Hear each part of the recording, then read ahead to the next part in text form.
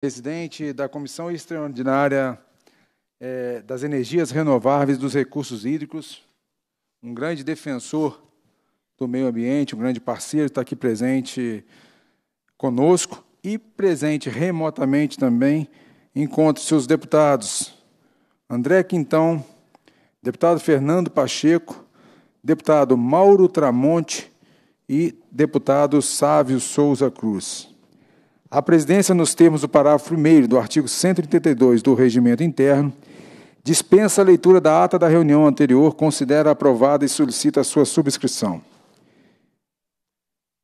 Destina-se a reunião à realização da Assembleia Fiscaliza, que é um inovador processo de prestação de contas instituído em Minas Gerais pela Emenda à Constituição do Estado, número 99, de 12 de março de 2019, por ele, os seus secretários de Estado e dirigentes de entidades da administração direta e indireta devem comparecer semestralmente às reuniões da, da, das comissões da Assembleia Legislativa para prestar informações sobre a gestão de suas respectivas áreas.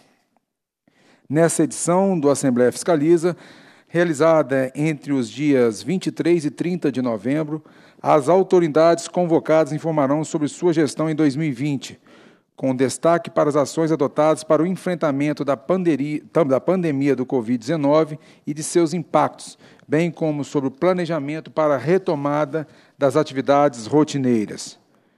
Foram convidados para essa reunião a Comissão de Agropecuária e Agroindústria, a Comissão Extraordinária de Energias Renováveis e de Recursos Hídricos e a Comissão de, e a Comissão de Minas e Energia.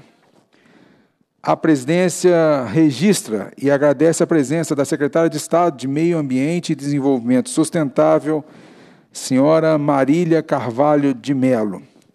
A presidência também registra a presença do diretor do Instituto Geral de Floresta, diretor-geral, senhor Antônio Augusto Melo Malar. Também Presente o senhor Anderson da Silva de Aguiar, subsecretário da Subsecretaria de Regularização Ambiental da Secretaria de Estado de Meio Ambiente e Desenvolvimento Sustentável. Também presentes. Encontra-se conosco o caro colega, deputado Carlos Pimenta, membro dessa comissão, um grande parceiro dessa presidência, que tem feito um excelente trabalho na proteção do meio ambiente. A presidência, tendo em vista a organização dos trabalhos, comunica aos parlamentares e à convidada que os atos dessa reunião obedecerão às seguintes normas e procedimentos. Primeiro, a secretária de Estado de Meio Ambiente e Desenvolvimento Sustentável, a senhora Marília Melo de Carvalho, disporá de até 20 minutos para a sua exposição. Na sequência, será concedida a palavra às deputadas e aos deputados nos termos da deliberação da mesa número 2711 de 2019, na seguinte ordem: primeiro, a presidente ou presidente da reunião; segundo, presidentes das comissões participantes por ordem de inscrição; terceiro, membros das comissões participantes por ordem de inscrição; quarto, líderes por ordem de inscrição; Quinto, membros da mesa da Assembleia por ordem de inscrição. E sexto, demais parlamentares por ordem de inscrição. Os, par os parlamentares que desejarem fazer uso da palavra poderão se inscrever pessoalmente junto à assessoria da comissão ou através do chat online do aplicativo Zoom. Cada deputado poderá fazer uma interpelação pelo prazo de três minutos. Após cada interpelação, a autoridade estadual disporá de três minutos para respondê-la. Após a, respo a resposta da autoridade estadual, o deputado que o interpelou disporá de dois minutos para suas considerações finais. No decorrer, no decorrer da reunião, as deputadas e os deputados poderão apresentar requerimentos contendo recomendações referente ao tema abordado na reunião através da, da plataforma Sileges, protocolando as proposições na Comissão de Meio Ambiente ou pessoalmente. As proposições serão deliberadas ao final dessa reunião ou em reunião, em, na próxima reunião ordinária. Fazendo as considerações iniciais, primeiro agradeço aqui ao presidente da Assembleia Legislativa, deputado Agostinho Patrus Filho, que teve essa brilhante iniciativa inovadora em todo o nosso país de criar o Assembleia Fiscaliza, é, trazendo mais interação é, do poder executivo com o poder legislativo e aprimorando o trabalho de fiscalização de todos nós parlamentares. Passo a palavra agora para a excelentíssima senhora secretária de Estado de Meio Ambiente, senhora Marília Melo Carvalho de Melo, que disporá de até 20 minutos para a sua exposição. Seja muito bem-vinda, secretária. A senhora tem 20 minutos para fazer a sua, a sua exposição inicial. Muito obrigada. É, boa tarde, presidente deputado Noraldino, deputado Gil Pereira, que também presente, remotamente também cumprimentar deputado Sávio Souza Cruz, deputado André Quintão, Fernando Pacheco, é, Mauro Tramonte e Carlos Pimenta. Agradecer a oportunidade. Realmente, como o deputado Noraldino menciona, o Assembleia Fiscaliza é uma ação inovadora de integração é, entre o Poder Executivo e o Poder Legislativo, tão importante para os resultados finais das políticas públicas do nosso Estado. Bem, é, eu inicio, então, a apresentação. Pode passar, por favor é, abordando é, as medidas administrativas que nós é, adotamos logo do início da pandemia para minimizar os impactos a toda a sociedade da prestação de serviço público que a Secretaria de Meio Ambiente e Desenvolvimento Sustentável e as três instituições vinculadas, Instituto Mineiro de Gestão das Águas, Instituto Estadual de Florestas e Fundação Estadual de Meio Ambiente, é, prestam. Por favor. Bem, é, a partir, então, da adoção do regime de teletrabalho, é, nós fizemos imediatamente a distribuição de processos físicos para as residências dos nossos servidores, fazendo da mesma forma, é, garantindo da mesma forma a manutenção da prestação é, do serviço público e também é, tendo um cuidado com todos os nossos servidores é, em relação à pandemia. Disponibilizamos toda a rede necessária para que os servidores tivessem condição de manutenção do seu trabalho remoto nas suas residências e é, toda a estrutura logística é, necessária. Por favor. Bem, em relação ao foco ao público externo, que nesse momento deveria ser né, privilegiado em função como eu disse, da prestação de serviço público da área de meio ambiente, através das autorizações ambientais que o CISEMA é responsável. Nós suspendemos atendimentos presencial, mas, de imediato, é, fizemos todas as medidas administrativas necessárias para que o atendimento não fosse prejudicado através da disponibilização de e-mails, de telefones, é, para que é, os contatos com os servidores, com aqueles que analisam os processos ambientais, fosse garantido a todo o nosso público. Por outro lado, tivemos, né, em função da, do isolamento social, uma redução das vistorias ou atendimento local, o que, de fato, na sequência vou apresentar, é, gerou uma pequena é, diminuição é, nos nossos resultados de alguns atos autorizativos, mas, naquele momento, também nos preparamos para, no momento da retomada, estarmos aptos a fazer todas essas vistorias que, naquele momento, não estavam permitidas. Mas, é, de toda forma, garantimos também as vistorias essenciais, né, as fiscalizações essenciais, como segurança de barragem, um tema muito importante para a segurança é, da sociedade do nosso Estado. Próximo, por favor.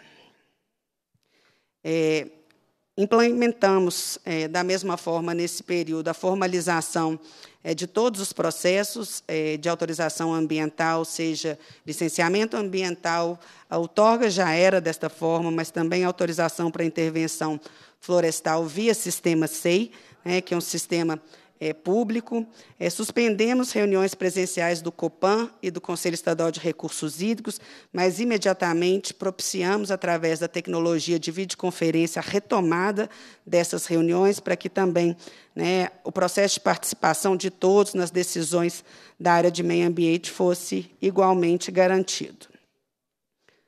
Próximo, por favor. Bem, é, nesse momento, algumas no, das nossas unidades já estão retomando a atividade presencial, né, e isso de forma é, articulada com é, as ondas estabelecidas né, pela nossa, é, pelo nosso governo. Então, nós temos algumas é, atividades presenciais já retomadas. Então, nós temos algumas fotos aqui, fizemos toda a adaptação das nossas unidades para atender o público externo de maneira adequada favor. Pode passar? Aqui as informações, né? nós retomamos os prazos dos processos administrativos, que também foram suspensos em função é, da pandemia e do isolamento social. Então, retomamos apenas é, dia 23 do 11, agora, né, recentemente, a contagem dos prazos. Esse momento foi um momento importante em função dos prazos administrativos, de defesas, recursos né, que é, ocorre na nossa, no nosso CISEMA. Bem, retomamos também a visitação em algumas unidades é, de conservação, né, em função é, das condições estabelecidas no Plano Minas Consciente, como eu mencionei, algumas unidades de conservação com limitação de público foram restabelecidas para é, visitação. Por favor. Bem, essas são as nossas principais ações para é, esse momento de pandemia e também o preparo para a retomada. É, nós já observamos é, um aumento, um incremento de solicitações de atos autorizativos, seja licenciamento ambiental, outorga ou supressão de vegetação, e, por isso, né, as nossas equipes todas já foram preparadas para esse momento de retomada. Aqui eu trago, então, os nossos resultados é, nesse período de produtividade, especialmente dos três principais atos autorizativos sobre responsabilidade do CISEMA. O primeiro, a produtividade de outorga, e a gente compara é, aqui a nossa meta com o realizado, aqui em cada um dos bimestres desse ano, por favor. A produtividade do licenciamento e da autorização de supressão de vegetação, esse nós tivemos uma queda em função das vistorias, como eu mencionei é, no início. Então, como estávamos impedidos, é, no período de isolamento social, de fazer vistorias, é, a orientação interna foi que é, pudéssemos analisar os processos em escritório e deixá-los prontos para, a partir agora da retomada da vistoria, que a gente não prejudicasse esses empreendimentos e essas pessoas que dependem dessas autorizações é, ambientais no nosso Estado. Por favor. Bem, um ponto muito importante né, é, para a gente, e o, a gestão ambiental do Estado tem essa premissa muito clara da participação popular. Então, da mesma forma como no Conselho Estadual de Recursos Hídricos, no Conselho de Política Ambiental, nos comitês de bacia hidrográfica, nós demos todas as condições aos conselheiros e também né, é, aos participantes externos que os nossos canais pudessem garantir, de fato, essa participação na discussão das políticas de recursos hídricos de meio ambiente no nosso Estado. Então, aqui são alguns números de visualizações inscritos nos nossos canais do YouTube. Todas as reuniões foram transmitidas e ficam disponíveis para dar transparência a esse processo. É, então, esse é um ponto de destaque que a gente traz também. Por favor.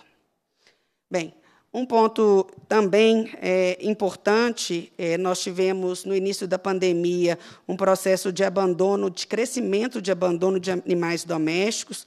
Então, o CISEMA trabalhou fortemente com diversos parceiros para fazer um, uma, um trabalho de conscientização, campanhas de conscientização e medidas para minimizar esse abandono. Então, esse é um ponto de destaque. Várias das nossas ações, né, cartilhas, posts, trabalho com, com algumas instituições parceiras. E desenvolvemos né, um projeto também que eu gostaria de destacar, o próximo, por favor, que é o SEMAD nas escolas, um papo animal. É, esse projeto é um projeto que já foi é, alcançado 200 alunos entre 8 e 10 anos, né, e que, de fato, traga a essas pessoas, a essas crianças, a conscientização em relação ao trato dos animais domésticos e a importância desse tema. Por favor, mais uma. Esse é o programa que eu acabei de dizer.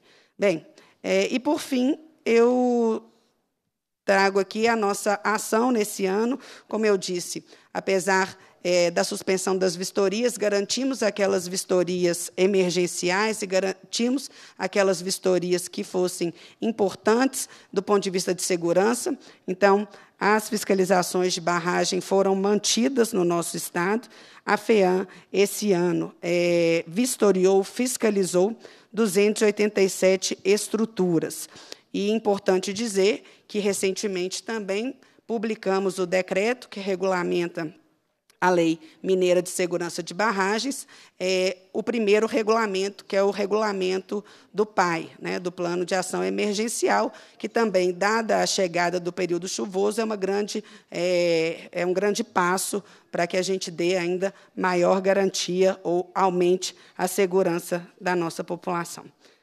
Bem, deputado Noraldinho, então, esses são os nossos principais é, resultados é, nesse ano e fico aqui à disposição dessa Assembleia é, e dos deputados para os questionamentos. Muito obrigada.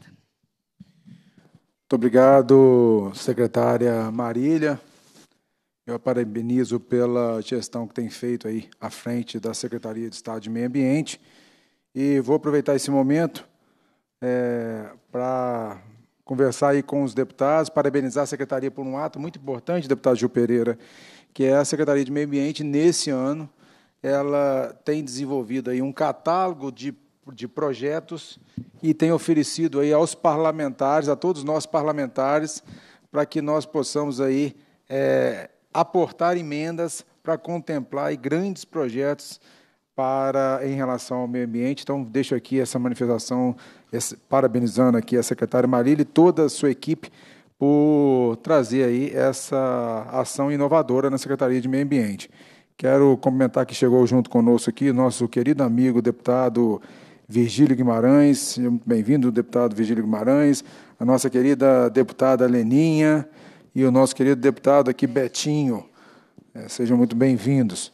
Eu passo agora a palavra ao deputado Gil Pereira, presidente da Comissão Extraordinária das Energias Renováveis e dos Recursos Hídricos para fazer a sua interpelação aqui é, para a secretária de Meio Ambiente e secretária Marília. Com a palavra, deputado Gil. Boa tarde, presidente Noraldino. Boa tarde, secretária Marília. Também quero parabenizar pelo seu trabalho. Gustavo, é, também presente aqui, aos demais colegas deputados e deputadas. Secretária Marília, eu quero né, parabenizá-la e, ao mesmo tempo, deixar é, um pedido nosso, através da Comissão Extraordinária das é, Energias Renováveis é, e Recursos Hídricos, lá no Norte de Minas, é, através do trabalho dessa casa, da Assembleia, né, do presidente Agostinho Patrus, que né, criou essa Comissão Extraordinária das Energias Renováveis e dos Recursos Hídricos, é, nós temos a, a, a grata satisfação de termos em, eh, em, Minas Gerais, através de um projeto de nossa autoria, aprovado por essa casa, temos 21% de todas eh, as fontes de energia eh, solar eh, no norte de Minas. Eh, então, tudo que é produzido no Brasil é em geração distribuída, né, a GD que a gente fala, até 5 mega, está eh, sendo produzido em Minas Gerais, em especial no norte de Minas. E também né, as plantas, maiores plantas que chamam plantas centralizadas, a maior na cidade de Pirapora, que já está energizada desde 2016, 17, ela está produzindo 411 mega de energia. E nós temos outras plantas eh, já aprovadas na Secretaria do Meio Ambiente e outros eh, projetos que já somam mais de 5 GB de energia. Quando a gente fala em 5 GB de energia, nós estamos falando de investimento mais de 20 bilhões de reais. E isso já está aprovado. Tem outros tantos é, é, projetos né, grandes é, que dariam até mais de, de 5 gigas é, em, lá na Secretaria do Meio Ambiente. Então, é só pedindo é, a celeridade para a senhora, para todos né, os subsecretários e, e, os colegas trabalhadores da, da Secretaria do Meio Ambiente, porque realmente tem sido é, um crescimento muito elevado, gerando empregos no Norte de Minas. É, nessa crise toda, as energias renováveis, principalmente a solar, subiu mais de 30% é, no nosso país, e aqui é, em Minas Gerais e no norte de Minas foram mais de 40%. Então, realmente, é, está chegando essa fonte de emprego, essa fonte de energia limpa e, principalmente, né, também gerando empregos de qualidade na nossa cidade, além de gerar impostos também para o Estado de Minas Gerais e a, as cidades é, do Norte de Minas. Então, eu quero é, parabenizar a senhora por esse trabalho e deixar o nosso pedido aqui, todo projeto de energia solar fotovoltaica, aliás, foi aprovado também nessa casa no primeiro turno, já no plenário, é, isentando de até 5 mega também é, energia eólica, biomassa e biogás, que é, vai juntar a energia solar e vamos gerar mais energias renováveis no nosso Estado. Então, muito obrigado, presidente Noraldino, parabéns pelo seu trabalho e quero também agradecer e parabenizar a nossa secretária Marília. Muito obrigado, deputado Gil Pereira. Deputado Gil Pereira, que é um dos grandes incentivadores que vem lutando há vários anos para que para a implementação dessas atividades no nosso estado. Parabéns, deputado. Grande parte dessas conquistas deve ao seu mandato. Eu vou passar para Marília, só para Marília fazer um comentário, já que o é, senhor não fez uma indagação, mas ela pode fazer um comentário sobre o pleito do senhor, que é de agilizar, né, dar celeridade à avaliação desses processos que estão em tramitação na Secretaria de Estado. Com a palavra, secretária. Deputado Maria. Gil, eu agradeço é, a sua colocação e o seu trabalho né, e dessa casa tem sido muito importante para o reposicionamento é, do Estado de Minas Gerais em relação à diversificação da nossa matriz energética. Né, e isso está absolutamente alinhado ao entendimento e às prioridades também estabelecidas pelo governador Romeu Zema. No ano passado, nós tivemos a oportunidade de, junto ao COPAN, né, alterar é, a deliberação normativa de licenciamento ambiental, através da nova deliberação normativa 235 de 2019, que traz um, um processo mais célere e mais simplificado para energias renováveis, e, de fato, essa política está também aderente com a política de combate a mudanças climáticas. Né? É muito importante em todo o mundo quando se diz sobre as questões ambientais. Então, agradeço e pode ter certeza que acompanharemos de perto todos os processos tramitados em relação a essas energias renováveis na Secretaria. Obrigado, secretária. Obrigado. É presente também aqui o nosso colega, deputado Tito Torres. Seja muito bem-vindo, deputado Tito Torres. Eu passo a palavra agora ao nosso colega, membro da comissão, deputado Carlos Pimenta. Boa tarde, presidente Noraldino. Boa tarde, da secretária Marília ao colega Gil Pereira que está aí e que, com muita propriedade, ele faz esse comentário acerca da importância da energia renovável, principalmente energia fotovoltaica, para a região do norte de Minas, é, que está se destacando na produção dessa energia em todo o Brasil. Eu quero cumprimentá-lo, Noraldinho, pelo trabalho que o senhor vem fazendo aí. A Comissão é, de Meio Ambiente hoje ela tem uma, um destaque todo especial é, mesmo porque nós estamos tratando é, da preservação do meio ambiente, da conciliação da preservação com a produção de, de grãos, de alimentos, com o desenvolvimento sustentável. E essa comissão ela tem acompanhado é, toda essa, essa movimentação para que a gente possa ter, em Minas Gerais, uma legislação é, que possa ser aplicada, que não atrapalhe quem, quem produz, mas que, ao mesmo tempo, preserve o meio ambiente. Eu tenho dois questionamentos. Desculpa o barulho, que eu estou no aeroporto. retornando para Montes Claros hoje, por isso eu não pude participar da reunião, mas eu tenho dois, dois questionamentos, ou pelo menos dois comentários a fazer com a nossa secretária. O primeiro deles é, refere-se à preservação das nossas nascentes, secretária. Nós temos aí, na nossa região, no momento igual a este, agora não, está chovendo um pouquinho, mas em todo o período de seca, praticamente 85% até 90% dos nossos rios secam. Até rios grandes, como o rio Jequitaí, há dois anos atrás, ele secou, ele não correu. E olha que é um rio perene, nunca tinha visto falar de, é, de uma seca que pudesse é, é, cortar o curso do rio Jequitaí. Mas eu quero me, me, me reportar aqueles pequenos rios, aqueles riachos que secam. Até aí tudo bem, mas o mais importante é que não há um processo de preservação. A gente vê aí dizer que existe recurso para isso, em projetos em parceria com as prefeituras municipais, mas na verdade, na verdade mesmo, a secretaria tem sido muito, sabe, muito acanhada nesse processo de recuperação das nossas nascentes. Eu gostaria muito que a senhora, que é uma técnica, uma pessoa ligada ao meio ambiente, a sua formação é uma formação também ligada à preservação ambiental, em defesa do nosso meio ambiente, que a senhora pudesse é, nos encaminhar uma programação a partir do ano que vem, o que que Minas Gerais vai fazer para poder preservar esses pequenos rios. Eu cito como exemplo a Serra do Cabral. Na Serra do Cabral, a plantação indiscriminada de eucaliptos é, agressões é, visíveis, criminosas ao meio ambiente. E lá aqueles pequenos córregozinhos, rios, eles secaram praticamente todos. Nessa época agora é que tão, voltam a correr é, é, timidamente, mas passam cinco, seis, sete, às vezes até oito meses com esses córregos secos. O segundo questionamento é com relação à nossa região, a região do norte de Minas. O nosso povo ele está acostumado a plantar. Os produtores rurais, os pequenos e médios produtores rurais, eles querem ter condições de poder plantar.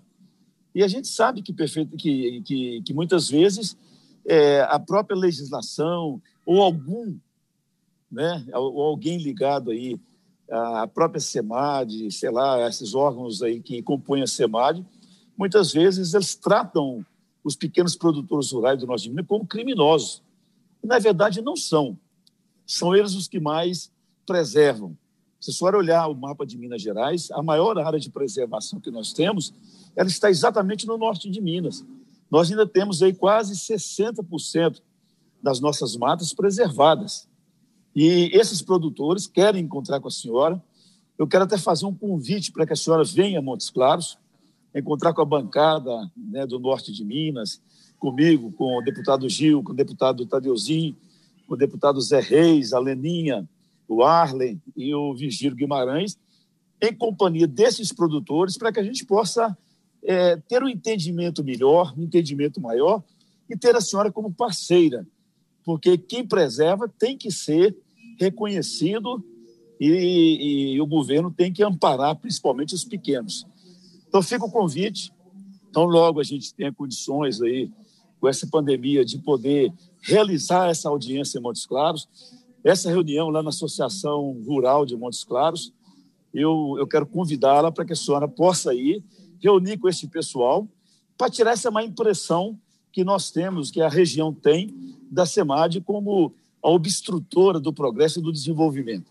No mais, eu quero desejar à senhora boa sorte, quero fazer uma visita, estou devendo uma visita para a senhora, e, e, como membro da Comissão de Meio Ambiente, eu quero ser parceiro para que a gente possa trabalhar nessa conciliação da nossa natureza, do nosso meio ambiente, mas sem esquecer as pessoas que produzem, que faz a riqueza do Estado de Minas Gerais. Muito obrigado, secretário.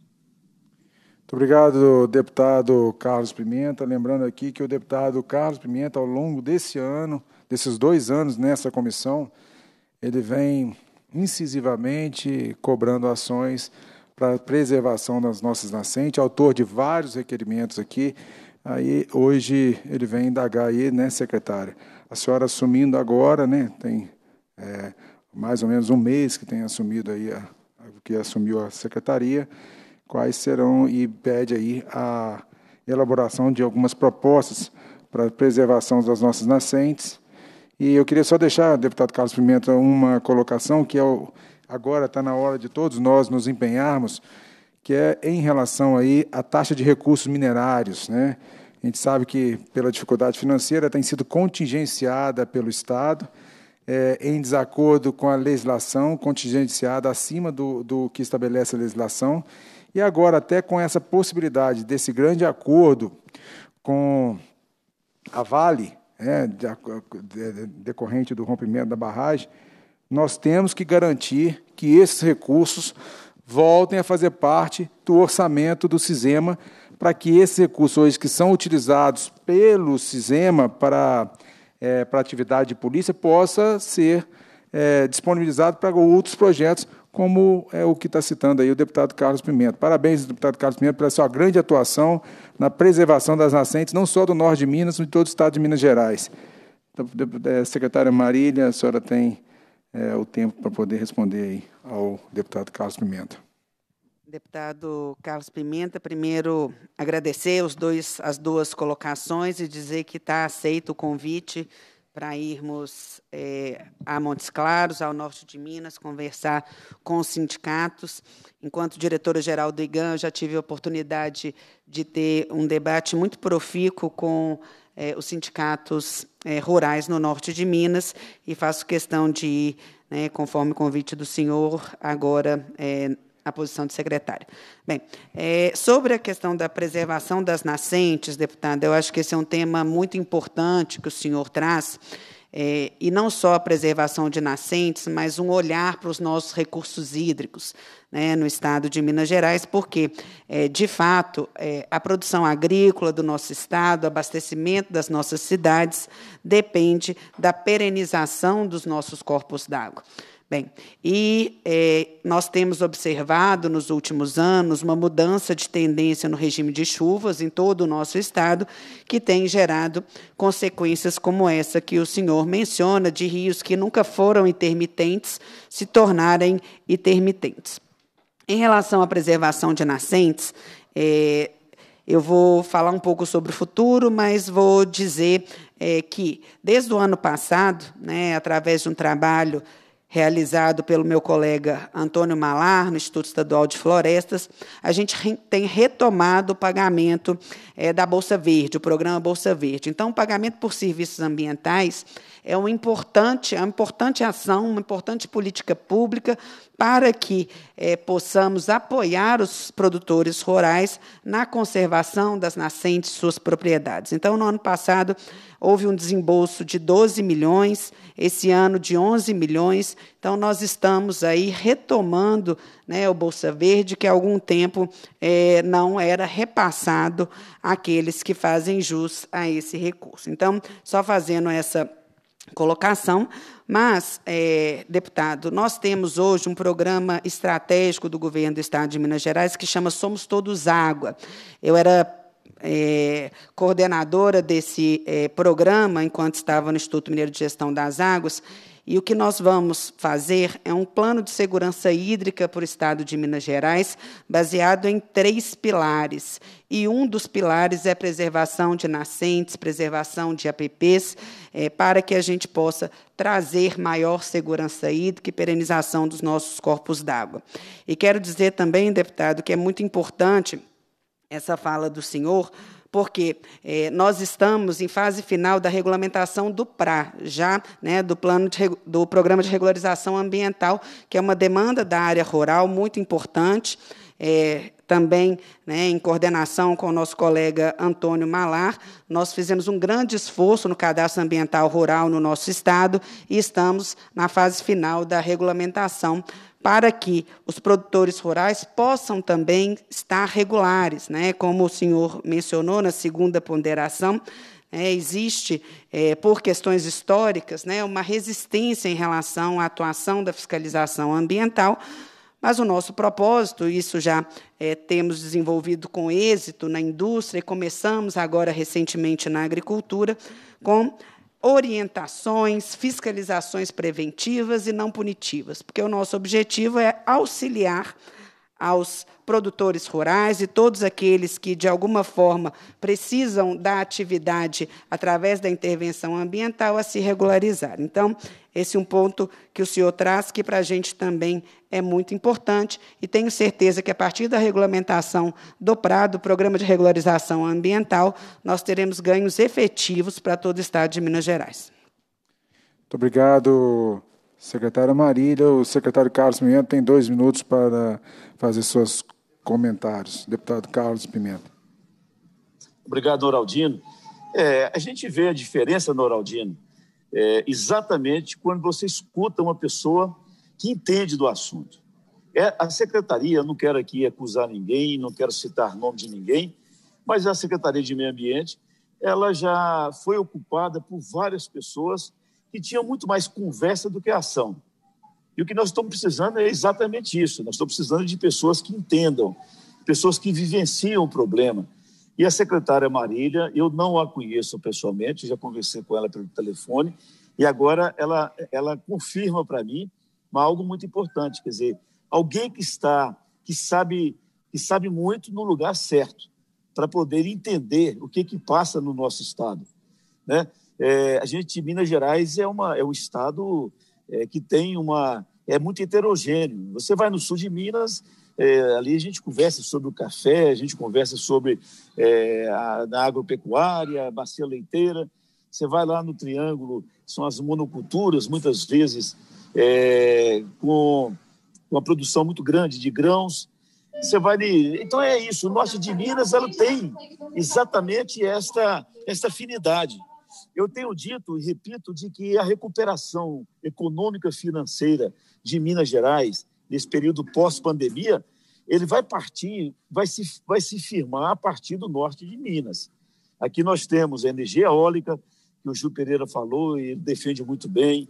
Aqui nós temos o mineral, né, o ferro na região de Gromogol, o lítio na região lá do Jiquitionha, é, a pecuária né, de, de, de, excelência lá no Mucuri. Então, essa região, elas, elas estão preparadas para que a gente possa fazer e participar dessa recuperação pós-pandemia do nosso Estado. E aí é que entra a SEMAD, né? Aí é que a SEMAD é, é precisa, oi, aí é que a SEMAD precisa efetivamente acompanhar isso que está acontecendo. Claro que nós não vamos querer que as coisas é, aconteçam de, de forma que venham a danificar o nosso meio ambiente, mas é, é, é tem lugar para todo mundo e uma secretaria muito bem administrada por quem entende vai ser fundamental para nós. Então, parabéns, Noraldino, parabéns à secretária. Eu vou conversar ainda amanhã com os produtores rurais lá de Montes Claros, é, com o Zé Luiz, que é, que é do, do, do Sindicato Rural, da Associação Rural, para que a gente possa encontrar uma data para que a senhora vá a Montes Claros e possa anunciar esses programas todos e, e, e acolher, abraçar os pecuaristas, os, os, produtores rurais do norte de Minas. Muito obrigado, secretária, e parabéns, Noraldinho. Muito obrigado, caro colega deputado Carlos Pimenta, pelo companheirismo, pelo grande empenho aqui na comissão. Passo a palavra agora ao deputado, membro da Comissão de Meio Ambiente, deputado Gustavo Santana, para fazer a sua interpelação. Senhor presidente, Noraldino Júnior, que parabenizo mais uma vez aí pelo excelente trabalho aí na nossa comissão, que eu tenho orgulho de fazer parte já dos meus dois mandatos como membro efetivo. Cumprimento a nossa secretária de Estado de Meio Ambiente, Marília Carvalho de Mello. Cumprimento aqui o Antônio Malar, nosso diretor-geral do IAF. E cumprimento também o Anderson Aguilar, aonde tive o prazer, na manhã desse dia, de estar em reunião e sempre quando a gente chama é muito bem recebido. Eu quero deixar registrado, tá, antes o carinho de sempre. Mas, secretária, é só para parabenizar, não vou questionar nada, nós já acompanhamos aí esse trabalho muito bem feito, apesar de ter começado como secretária agora, mas o entendimento nós sabemos muito bem, até porque na época é, logo quando nomeou, e eu sempre em diálogo por fazer parte dessa comissão, onde eu quero deixar registrado também um grande abraço para um grande amigo e companheiro, nosso secretário Germano, que foi secretário aí até pouco tempo, me falou da competência de Vossa Excelência, da dedicação e que estaríamos uma excelente mão. Então, eu só quero deixar aqui registrado que este parlamentar está e estará à sua disposição para que juntos podemos fazer com que o nosso meio ambiente se desenvolva nesse Estado. Todos sabem minha posição nessa casa, defensor do setor produtivo, mas um setor produtivo com responsabilidade na sustentabilidade do meio ambiente. Um trabalho esse que começou aí nos dez mandatos do meu pai, sempre defendendo o meio ambiente, nosso eterno deputado Zé Santana, depois meu irmão, deputado Bernardo Santana, e eu faço parte agora aqui dessa comissão com muito orgulho, como nosso presidente aqui, Noraldino, e tenho certeza que faremos um Estado ainda muito melhor para nossas mineiras e os mineiros. Esse deputado está à disposição de Vossa Excelência quando precisar aqui nesta casa. Um grande abraço, Noraldino. Muito obrigado, deputado Carlos Santana. Lembrando aqui a presença também do nosso deputado Fernando Pacheco. E as inscrições é, estão abertas para quem quiser fazer o uso da palavra. É, na sequência, fará uso da palavra deputado Sávio Souza Cruz, logo após deputada Leninha, logo após deputada Leninha, deputado Virgílio Guimarães. Eu passo a palavra ao nosso deputado Sávio Souza Cruz, ex-secretário de Estado de Meio Ambiente e Desenvolvimento Sustentável. Caro colega deputado, o senhor está com a palavra. Boa tarde, presidente. Queria aproveitar a oportunidade ainda em tempo de cumprimentá-lo pessoalmente pelo aniversário ocorrido na última sexta-feira.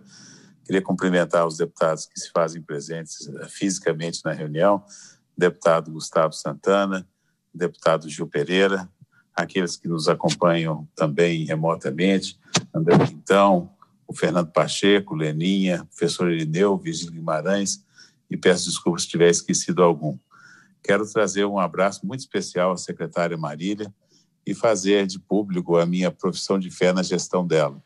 Eu sou testemunho do, da qualidade do trabalho, da competência técnica no período que passei na secretaria, como foi mencionado pelo presidente, e tenho absoluta convicção que com a secretária Marília à frente não só da, da SEMAD e do CISEMA, por óbvio, nós teremos uma gestão é, marcada pela técnica, uma gestão marcada pelo compromisso público e, sobretudo, com um inarredável compromisso com a ética e com a construção do desenvolvimento é, econômico sustentável em nosso Estado. Portanto, eu fico muito feliz e orgulhoso de ver à frente do CISEMA uma pessoa da qualidade pessoal e técnica como a secretária Marília. Era só a observação que queria fazer é, e terminar também, como comecei, cumprimentando a todos e desejando aí bons trabalhos na sequência dessa Assembleia Fiscaliza. Boa tarde a todos.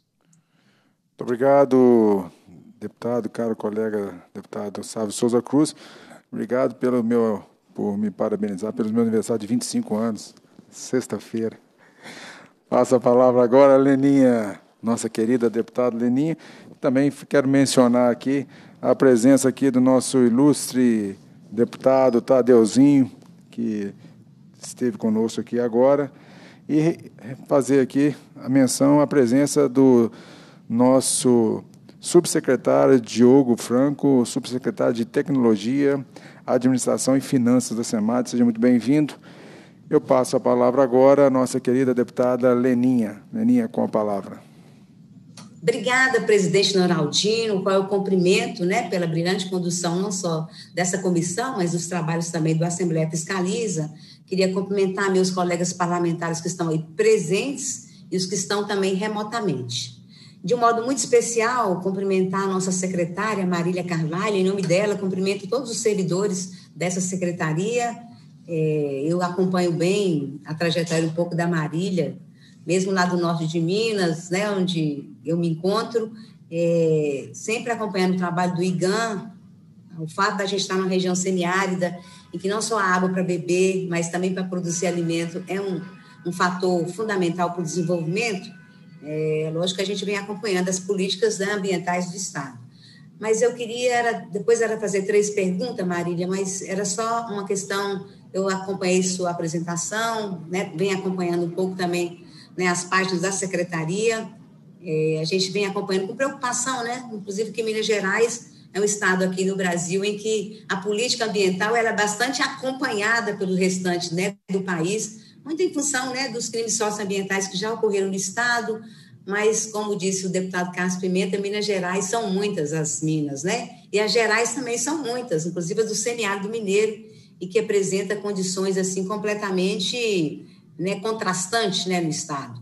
É, eu presido da Comissão de Direitos Humanos, a gente de vez em quando faz algumas audiências públicas, onde a gente quer discutir o direito humano, principalmente a permanecer nas áreas né, de criação de parques, o direito humano ao uso da água e da terra, pensar também o meio ambiente, mas não com aquela velha ideia conservacionista de que tem que conservar o ambiente, a árvore em pé e tira o homem daquele lugar.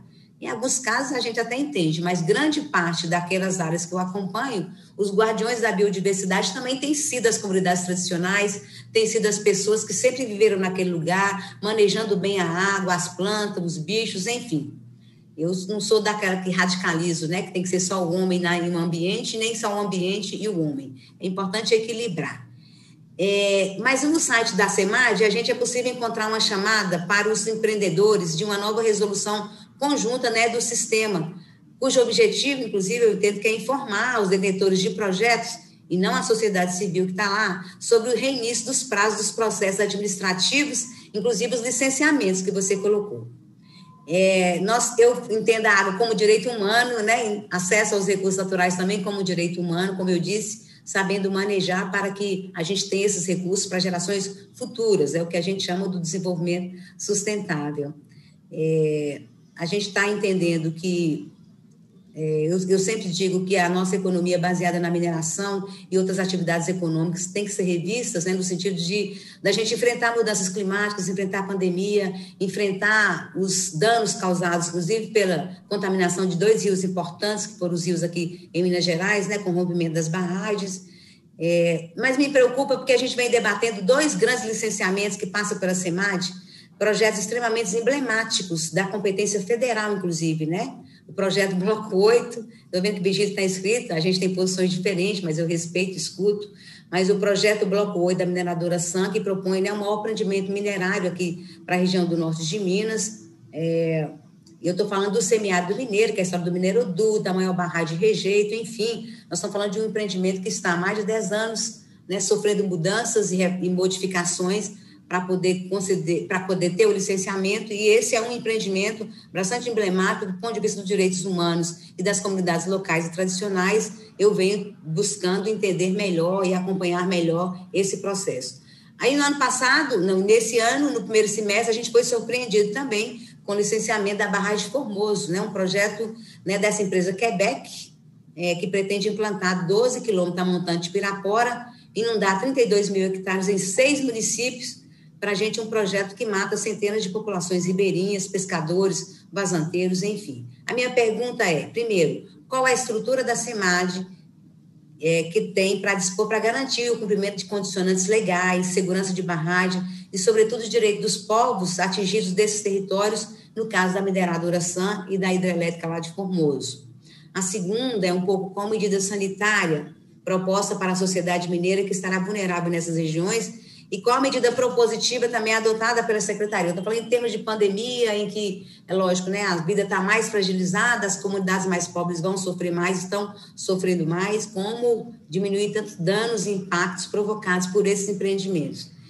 E, por último, a gente sofre ainda, eu sei que o coordenador geral do IEF está aí, mas eu sempre venho batendo, né, no sentido da gente tentar encarar um problema que é de criação de parques sobrepondo territórios tradicionais, de modo muito especial o Quilombo da Lapinha, que fica na região de Matias Cardoso, em que foi criado um parque onde a comunidade está lá há mais de 200 anos e nós estamos arrastando um problema há mais de cinco anos com relação a essa comunidade tradicional. Eu sei que o IEF pode ter rediscutido um pouco essa política né, de compensação de criação de parques, não sobrepor territórios tradicionais, mas como vocês estão inovando muitos projetos e processos na secretaria, eu gostaria de saber se houve algum avanço nesse sentido com relação a uma política estadual né, de proteção e de povos e comunidades tradicionais que o próprio governo reconhece, mas que a gente tem pouca efetividade com relação a, a uma incidência maior do Estado sobre essas comunidades. Muito obrigada, um grande abraço. Muito obrigado, deputado Leninha. Passa a palavra à secretária para fazer a sua, respondendo aos, aos questionamentos da deputada Leninha. Bem, é, antes de entrar nas respostas da deputada Leninha, aproveitar primeiro para agradecer as palavras do deputado Gustavo Santana e, é, de maneira muito especial, da mesma forma que ele se referenciou a mim, ao deputado, amigo Sávio Souza Cruz, a quem tive honra é, de trabalhar junto, e retorno a ele todas as palavras e as menções que ele fez a mim. Deputado Sávio, muito obrigada pelas suas palavras. Deputada Leninha, é, eu vou separar em dois momentos. Primeiro, as perguntas sobre os processos de licenciamento, é, e depois eu vou pedir ao Malar que responda em relação às unidades de conservação, que ele está aqui conosco presente também. É, esses dois empreendimentos que você menciona, né, o primeiro, a SAM Mineração, é, no norte de Minas, e depois a usina hidrelétrica de Formoso, no São Francisco, é, são empreendimentos que, é, de fato, eu acompanhei nesses um mês e meio, dois, que eu estou aqui na secretaria. Eu queria te trazer né, um reporte atualizado de qual é a situação é, dos dois empreendimentos. Então, como é, a senhora sabe, a SAM Mineração hoje tem uma decisão judicial que determina que o processo de licenciamento seja feito pelo IBAMA, né, uma vez que a mina que está né, no estado de Minas Gerais e que, é, de fato, deveria ser licenciado pelo Estado, ela tem como modal de transporte é, um mineroduto é, que levará é, o minério, né, caso o empreendimento se viabilize, até o porto é, de Ilhéus, na Bahia, e o mineroduto seria, então, competência do IBAMA, é, o licenciamento. Então, hoje, a decisão judicial é, vigente é que o IBAMA deveria é, licenciar todo o empreendimento.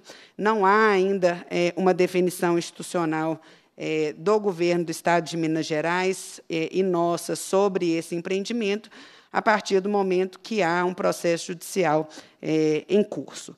Então, essa é a atualização sobre a SAM Mineração, mas nós estamos atentos a todas as questões né, que a senhora aqui coloca, né, das comunidades do entorno, da, da barragem de rejeito que está proposta, a barragem de água também que está proposta pelo empreendimento.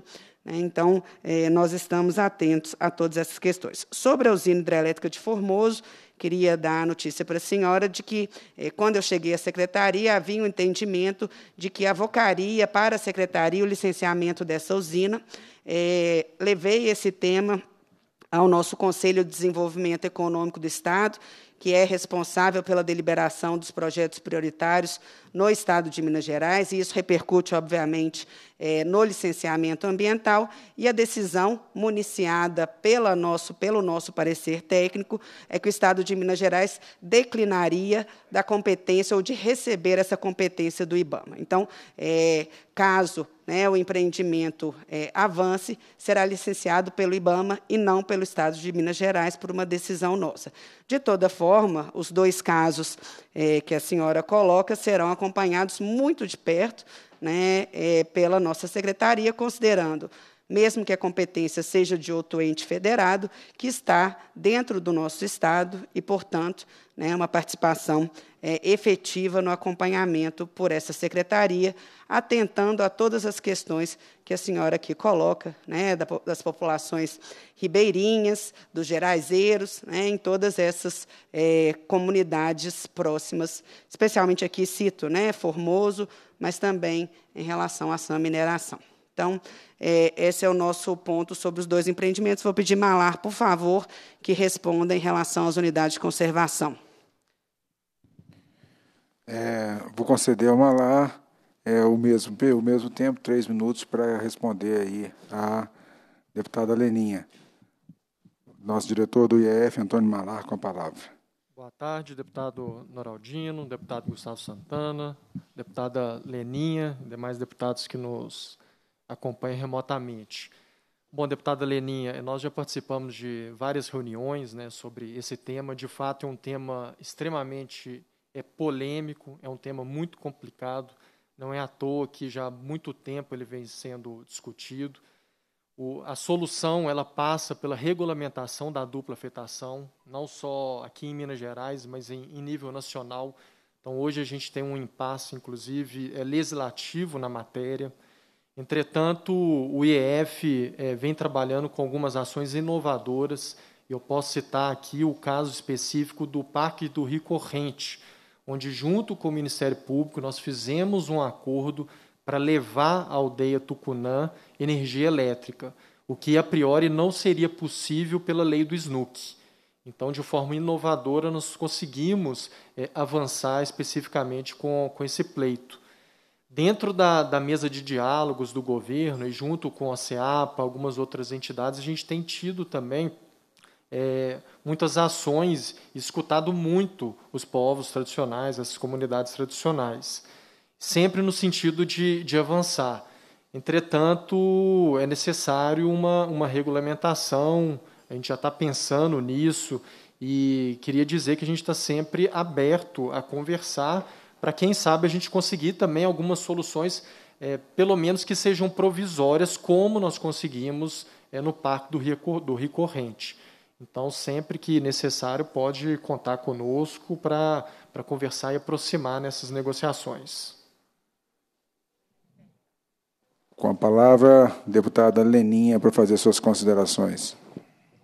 Eu queria agradecer a Marília pelas respostas. É, algumas informações a gente já tinha, no caso de Formosa, gente, eu não sabia que nós tínhamos declinado da proposta né, de uma parte do licenciamento ser tratado aqui em Minas Gerais. Enfim, a gente vai acompanhar de perto, né, assim como esse empreendimento, todos os empreendimentos né, ambientais, socioambientais, ou seja, de produção, que também afetam né, diretamente as, o modo de vida das comunidades, mas principalmente as vidas das comunidades. Queria agradecer o Malai, a gente já, de fato, já, nós já nos encontramos algumas vezes, né, para a gente tentar achar soluções e saídas, porque além da a comunidade da Lapinha, por exemplo, do Quilombo, tem energia elétrica, mesmo que tenha um processo aí, né, de falta de regularização fundiária para aquelas comunidades, né, mas a gente tem outras comunidades que estão na situação que o Malá está colocando, que eles estão na terra há muitos anos, 50 anos, 60 anos, mas com o processo irregular do território, eles não conseguem acessar energia elétrica e outros bens de, né, e serviços prestados pelo Estado. Mas era agradecer mais uma vez e eu espero que a gente possa seguir dialogando né, nessa perspectiva de discutir o desenvolvimento, mas, acima de tudo, discutir as vidas né, dos mineiros e mineiras que estão é, distribuídos ao longo do nosso estado. Muito obrigada, obrigada, Noraldino, mais uma vez. Muito obrigado, deputada Leninha.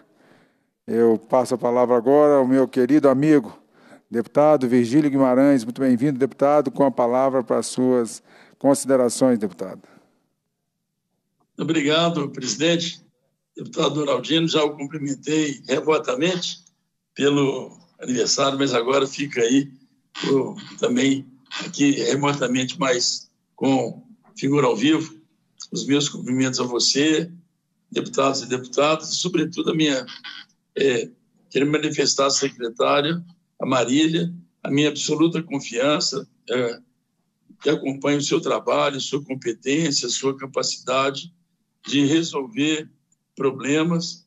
Queria deixar também minha alegria, eu que convivo com sua família há quase 60 anos e muito próximo, já conheço mais tem a idade. E queria ficar minha satisfação em saber que tem uma pessoa com a sua, não só a sua competência profissional, mas com a sua visão de meio ambiente. Já tivemos a oportunidade de conversar sobre isso, e a, a minha preocupação é com o desenvolvimento sustentável. Não estou entre aqueles. E aí eu ficar só nessa saudação, Marília. Mas a, a Leninha fez questão de me provocar um pouco, e eu acabo sempre caindo nesse laço. É, a, a, ideia é de desenvolvimento sustentável. A, a paralisia não é sustentável. Só o desenvolvimento a qualquer preço não é sustentável. Ou, em alguns momentos, nós temos que ter uma ousadia maior em, em em correr alguns riscos, como fazemos na área econômica. Por exemplo, nós tivemos a pandemia. Nós corremos vários riscos fiscais, gastando acima do que tinha, promovendo endividamento, enfim, sacrificando investimento porque o momento exigiu. Eu estou entre aqueles que acham, por exemplo, agora, na retomada da economia, nós devemos adotar é, medidas extraordinárias para destravar investimentos através de processos sumários, mas que sejam acompanhados também de punições e, e, e suspensões também sumárias. Mas nós não podemos, em função do máximo de cuidado com os licenciamentos prévios, os, e, e, com isso sacrificar o, o, o investimento, a capacidade de atração de recursos, porque esses recursos produzem depois os seus frutos até até os seus frutos, digamos, da arrecadação do Estado, eles são importantes para a própria proteção do meio ambiente. Então, eu defendo muito o, o, desenvolvimento sustentável. Acho que as punições têm que ser rigorosas. Por exemplo, eu tenho defendido, sem muito êxito em conseguir parcerias, que a, um, um, no quadrilátero ferrífero, onde a mineração é muito complexa, nós devíamos ter empresa estatal. A Vale deveria perder os seus direitos minerados nessa região. Ela busca incessantemente lucro de curto prazo, remunera seus diretores e seu conselho pelo resultado de curto prazo, o que é, faz com que ela, fez com que ela se tornou uma empresa tóxica. As punições devem ser rigorosas, mas a adoção de projetos, nesse momento de adoção de, de procedimentos mais é, rápidos, como outros países já o fizeram, é baseado em, em cartas compromissos, em é, licenciamentos concedidos de maneira monofásica, eu defendo que seja feito agora. Como eu defendo um desajuste fiscal grande, também para um momento de emergência. Não é um, uma coisa de longo prazo para sempre. Né? Eu falo isso porque se aplica a tudo. Acho que há um empreendimento grande num, numa mineração de um minério pobre feito no norte de Minas, ele, ele é muito importante. Eu tenho falado com a Leninha sempre também, com a nossa companheira, que eu prezo muito, dei a ela o meu voto pessoal nessas eleições agora é, municipais, Montes Claros, é, que o, o, é, numa região seca, nós não podemos tirar a água existente, mas ela é uma região não é seca o tempo inteiro, ela tem má conservação da água. Então, se houver processos com base em recursos hídricos, mas recursos novos, isso é bem-vindo. Sobretudo se vier junto com contrapartidas. Contrapartidas que vêm, inclusive, em socorro da manutenção das nossas reservas hídricas no subsolo. Se nós fizermos é, 20 ou 30 mil é, é, barraginhas nós vamos aumentar a evasão dos rios, não diminuir. Se o investimento externo vier junto com esse tipo de contrapartida, de não usar nenhum litro da água já existente, for apenas uma represa nova com recursos hídricos novos, é melhor usar recursos hídricos do que é, fazer a, a um, um, digamos, a questão da ferrovia. Acho que a, a, houve um certo exagero por parte do Ministério Público de não seccionar os, o, o, o investimento. Ah, uma, uma, uma, um mineiro-duto ele pode servir a vários empreendimentos. Eu acredito que outros empreendimentos surgirão. Não, se for uma ferrovia, não pode ser como a Vale faz, ou fez, de monopolizar a, a, logística. De jeito nenhum. São coisas distintas e Minas devia licenciar com todo cuidado, com todo respeito à segurança, com todo respeito ao meio ambiente, mas também um investimento alto, importante para nós. Esperar 10 anos, 12 anos, mais 15 anos? Não. Eu quero ver o seu licenciamento agora, o quanto antes melhor, desde mantida a segurança, desde mantidas, mantidos os controles. Não tenho nenhum problema de defender essa posição. Se, se existem empresas, mesmo de mineração na região, que fogem ao, ao, ao, que foi planejado, devia ser fechado, devia ser caçado o direito minerário, como acho que a Vale, por ser inidônea na, no, no candidato ferrífero, não falo em, em revogar a privatização já feita, isso é impossível. não se volte a pasta para dentro do tubo depois de espremer. espremer.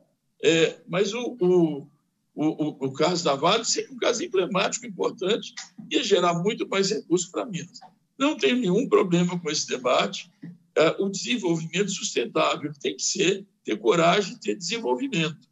E tem que ter a responsabilidade de ser sustentável. Tem que ter coragem, a ousadia e a segurança, a responsabilidade. E eu sinto na secretária Marília todos esses elementos.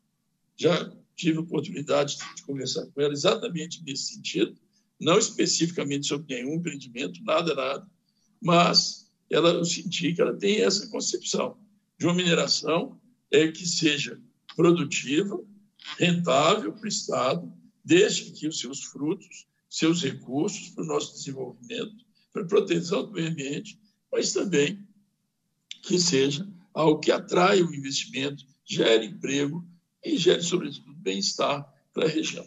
É, é, nesse sentido, secretário, eu não tinha intenção de fazer essa, essa preleção aqui, não, mas, de alguma maneira, se eu não fizesse, pareceria que eu não tenho uma ideia já bastante assentada sobre esses temas, não tenho nenhum problema com mineração. Acho ela importante, mas onde ela puder ser desenvolvida, onde não puder, é que o minério fique debaixo da terra. Mas aonde puder, ela, ele tem que ser explorado de uma maneira humana e sustentável. Muito obrigado, deputado Virgílio. Eu passo a palavra agora à secretária Maria, né, para fazer, as, respondendo aos questionamentos do, do nosso querido deputado Virgílio Guimarães, meu grande colega. Registro também a presença aqui, a presença do nosso querido amigo, deputado Coronel Henrique, presidente da Comissão de Agropecuária, já parabenizá-lo pela excelente condução da reunião da Assembleia Fiscaliza de hoje. Parabéns, deputado, pela condução e pelo trabalho que vem realizando aqui na, na Assembleia Legislativa. Com a palavra a secretária Marília. Bem, é, Obrigado, deputado Virgílio, pelas suas palavras. É, mencionar, como o senhor disse, né, do convívio familiar há alguns anos, é, há 60 anos antes de eu nascer. Então, o senhor me viu na barriga da minha mãe. Então, um prazer né, estar aqui com o senhor, é, a quem também respeito muito, não só como parlamentar, mas, como disse, por toda essa convivência familiar com os meus pais há 60 anos, né, deputado Virgílio? Bem, é, sobre as suas considerações, deputada, eu acho nós já tivemos oportunidade de debater um pouco sobre isso e a gente tem convergência de entendimento. É, e eu sempre tenho colocado nas oportunidades que eu tenho que nós precisamos resgatar a boa técnica no licenciamento ambiental. Acho que esse é um ponto é, importantíssimo quando nós falamos em desenvolvimento sustentável. Né? Nós estamos no ano de 2020, onde a técnica e a tecnologia é, de fato, muito avançada para que a gente possa estabelecer, de fato, né, os bons controles sobre as atividades potencialmente poluidoras, para que elas, de fato, possam ser sustentáveis. Então, eu a secretaria chama Secretaria de Meio Ambiente e Desenvolvimento Sustentável, não é à toa, né, porque, de fato, é, o interesse e hoje a diretriz do governador Romeu Zema, muito clara né, no nosso governo, é que a secretaria possa promover o desenvolvimento sustentável do nosso Estado, porque, de fato, né, a, principal a pior degradação ambiental é a pobreza humana. Então, nós temos que é, garantir o desenvolvimento econômico inclusivo no nosso Estado e, através do licenciamento ambiental, retornar né, a boa técnica no licenciamento para que a gente possa estabelecer os controles necessários para esses empreendimentos. Então, é, agradeço as suas colocações, continuo à disposição na secretaria para esse profícuo debate sempre com o senhor. Muito obrigado, secretária Marília. Eu passo agora, devolvo a palavra ao deputado Virgílio para suas considerações eh, em cima dos comentários da secretária Marília. Não há, há consideração, apenas que as palavras da secretária, da querida amiga, ela reforça a, a, o entendimento que tem da sua postura. E só porque aproveitei para fazer as continhas aqui, não envelhecer demais, algumas pessoas, fiz as contas, aí sabe, 57 anos, conviviam de maneira ininterrupta e de uma maneira extremamente fraterna e muito próxima, com, muito antes da Marília nascer, a quem vi antes que ela tivesse a, a sua vida consciente ainda. Portanto, deixo um abraço a ela, a sua equipe e, por que não, a sua família. Obrigado, deputado Virgílio. Eu passo, passo a palavra agora à nossa querida deputada Laura Serrano para suas considerações e suas indicações é, para a secretária Marília. Com a palavra, deputada Laura. Obrigada, presidente. É, quero cumprimentar a nossa secretária de Meio Ambiente e Desenvolvimento Sustentável, a Marília. É, cumprimentar também o presidente, que vem conduzindo muito bem os trabalhos aqui dessa audiência pública, com questionamentos extremamente pertinentes, e aí eu aproveito para cumprimentar o deputado Gustavo Santana, o deputado Coronel Henrique e a todos que também nos acompanham de forma remota é, hoje. Eu queria, mais uma vez, trazer alguns destaques é, da apresentação que foi realizada pela secretária Marília. Acho que são pontos importantíssimos, é, principalmente no que tange aos, ao contexto que a gente vai enfrentar, que a gente enfrenta agora e que a gente vai enfrentar é, nos próximos meses, que é justamente essa necessidade da retomada econômica pós-pandemia, que é um ponto importante que afeta não só em termos de desenvolvimento econômico, mas em termos de desenvolvimento social. E aí eu acho que está totalmente relacionado com o desenvolvimento sustentável que a gente busca, é, sempre também é, protegendo o meio ambiente e, realizando as ações da forma mais responsável possível, pensando nesse desenvolvimento sustentável que envolve também é, o social e o econômico. E aí é, eu fico muito satisfeita de ver que a gente teve uma série é, de, de, ações positivas em termos de aumento de produtividade. É, mesmo com, essa, com esse período desafiador da pandemia da Covid-19, manteve-se as metas de redução de passivo de atos autorizativos. E aqui destacar que isso, é, de forma nenhuma, significa é, redução de, de rigor ou de critérios nessas avaliações. Significa, é, pura e simplesmente, é, gestão melhoria da gestão de, de, avaliação desses processos para que eles pudessem ser feitos da forma é, correta e com maior celeridade para atender é, aos cidadãos, sempre com respeito às questões ambientais. Então, alguns dados aqui que eu gostaria de, de reforçar: o aumento da produtividade, por exemplo, no caso das outorgas. Considerando do início do ano até agora, a gente teve uma redução do passivo de outorgas de cerca de 12 mil para menos de 7 mil. É claro que a gente ainda é, percebe né, a necessidade da melhoria contínua, e, e, eu tenho certeza que essa é uma visão também é, da nossa secretária do governo de Minas, mas é importante que a gente destaque e parabenize esses resultados positivos que a gente vê sendo alcançados de forma a atingir o equilíbrio que a nossa sociedade precisa, né? uma, uma gestão séria, competente, responsável, mas que busca a maior produtividade para poder atender melhor aos cidadãos mineiros. Um outro dado importante também da, da produtividade do licenciamento, né, que o passivo caiu nesse ano de 879 para 665. Então, todos esses pontos são pontos fundamentais a gente tem uma série de ações que foram tomadas nesse sentido, como a digitalização do licenciamento ambiental, foi um projeto importante é, para esse processo e é, que ele vem avançando e que vai evoluir, inclusive, para uma desburocratização e, mais uma vez, ressaltando é, uma desburocratização, mas que considera todo o rigor, todo o critério que é necessário é, durante a avaliação desses processos. Então, mais uma vez, é, eu queria aproveitar para é, destacar esse, esse trabalho que vem sendo realizado pela Secretaria de Meio Ambiente e Desenvolvimento Sustentável e destacar a importância que, que essa produtividade na, na redução dos passivos de atos autorizativos tem, não só no contexto que a gente vive hoje, mas principalmente também nos nos próximos meses, essa necessidade da retomada econômica, que vai impactar positivamente, não só em termos é, de uma recuperação mais é, estável, mas também isso, sem dúvida, vai ter um impacto importante nas questões sociais, no desenvolvimento social, e que é fundamental para que a gente continue com o foco na melhoria da qualidade de vida dos mineiros. Muito obrigada. Muito obrigado, deputada Laura Serrana. Parabenizo pelo trabalho e pelo empenho.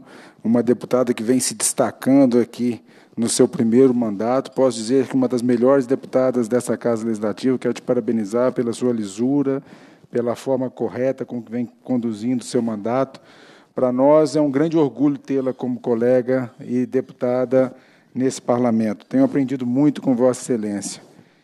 Passo a palavra aqui para a deputada, para a secretária Marília para responder as palavras, mas antes eu quero registrar a presença de uma pessoa que é muito importante para todos nós aqui. Nosso querido aqui, Marco Túlio de Melo, pai da secretária Marília. Quero dizer que o senhor deu um presente para o Estado de Minas Gerais. É, essa menina, para nós, é um orgulho. Um orgulho de competência, um orgulho de seriedade, uma pessoa que todos nós nessa Casa Legislativa, eu posso falar que todos, confiam muito no trabalho dela. Nós temos a certeza que juntos nós podemos fazer muito por, pelo meio ambiente. É, eu falo isso não só em meu nome, todas as pessoas, todos os deputados a consideram muito. Eu sei que muito desse resultado é fruto do seu empenho, da sua forma de educar. Então, eu quero fazer aqui essas, essas considerações, parabenizar por ter é, criado essa figura maravilhosa aqui. Hoje, secretário de Estado do Meio Ambiente, dos maiores estados, dos estados mais importantes em relação à questão ambiental, e tenho certeza que fará, desempenhará esse trabalho com muita ética, com muita seriedade.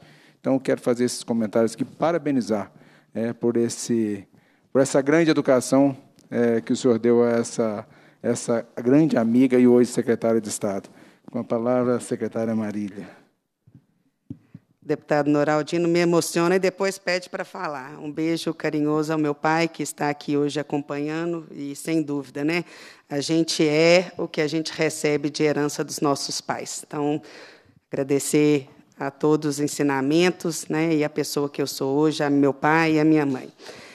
É, bem, deputada Laura, retomando aqui, pós a emoção, né, pela fala do deputado Noraldino, primeiro, agradecer, deputada Laura, é, as suas menções e dizer que esse resultado não seria possível se não fosse o seu apoio. Né? Nós tivemos aqui na semana passada conversando sobre isso. É, eu e o Germano entregaremos no seu gabinete, na semana que vem, o nosso relatório, é, mostrando para você o impacto positivo da emenda parlamentar de um milhão e meio que tivemos a honra de receber do seu mandato no ano passado para aprimoramento da digitalização do licenciamento ambiental. Então, grande parte desse resultado que a gente demonstra e entrega hoje tem a sua participação. Então, queria, de público, agradecer é, todo o apoio que você tem dado à Secretaria de Meio Ambiente. E dizer que nós temos ainda um grande desafio em comum, né, deputada, que é o saneamento no nosso estado de Minas Gerais. É uma pauta que eu sei que a senhora né, tem muito afinco, é, é muito cara ao seu mandato também, e, a partir de agora, com o novo marco regulatório, com o novo marco do saneamento do Brasil, nós temos oportunidade de mudar a realidade do saneamento no nosso Estado, né, promovendo aí é, atração de investimentos privados para que a gente possa é, reduzir né, e minimizar todo o impacto ambiental, social e de saúde pública que o saneamento né, ainda traz para as nossas populações. Então, agradeço muito as suas palavras né, e temos certeza que teremos uma pauta em comum nesse trabalho para a universalização do saneamento no nosso Estado. Muito obrigado, Marília. Eu passo as palavras para, para suas considerações à nossa querida deputada Laura Serrano. Bom, presidente, só para concluir, eu queria justamente corroborar as palavras da, da secretária Marília em relação ao saneamento básico. Mais uma vez, acho que não, nunca é bastante a gente frisar como é importante a universalização do saneamento básico no nosso Estado. É, Hoje, a gente tem é, índices muito aquém do que a gente deveria, em termos, né, considerando que a gente tem um, um, um Estado que, que, representa o nosso país de, de, certas formas, e a gente tem um, um, índice de abastecimento de água de cerca de 80%, coleta é, de, de, esgoto 60% e tratamento de esgoto, então, uma cobertura de 40%, mostrando que é fundamental e importantíssimo a atuação não só do governo de Minas, mas também dessa casa, como vem sendo feito, para priorizar a universalização do saneamento básico no nosso Estado. A Organização Mundial da Saúde, inclusive, é, já tem é, estudos científicos que comprovam que cada um real que é investido em saneamento economiza-se quatro reais em saúde, e isso está extremamente relacionado com a redução também da mortalidade infantil. A gente sabe que muitas vezes é, a, a, as crianças são acometidas por doenças diarreicas e isso tem um impacto principalmente no contexto onde não há o saneamento básico universalizado, é muito, muito negativo. Né? Então, acho que se tem um investimento eficiente que pode ser feito em saúde, é o investimento em saneamento básico. Se tem uma prioridade que a gente precisa ter no nosso Estado, é justamente a universalização do saneamento básico, que é importantíssima porque quer dizer saúde, quer dizer é, ambiente, meio ambiente. Nesse momento, quando você trata né, o, o esgoto, você está deixando de poluir cursos d'água. Quando você coleta o esgoto, faz a destinação necessária, você está deixando de é, ter um ambiente onde é mais propício para que as pessoas contraiam doenças. Então, só para corroborar esse ponto, acho que é fundamental a gente sempre defender essa universalização do saneamento básico e agir para que ela, de fato, é, ocorra. Né? É importantíssimo que a gente consiga atingir aí os, indicadores plenos de universalização do saneamento no nosso Estado. Obrigada. Muito obrigado, deputado Laura Serrano. É, vamos, passar a palavra, vamos passar a palavra agora para o último inscrito. Como eu anunciei é, inicialmente, eu deixei para poder fazer as minhas indagações na última fala. Eu passo a palavra aqui ao nosso querido amigo, deputado Coronel Henrique, para as suas considerações e suas indagações. Com a palavra, Coronel Henrique. Muito obrigado, senhor presidente. Parabéns pela condução dessa reunião. Muito bem-vinda, prezada secretária Marília. Um abraço também aos demais parlamentares presentes.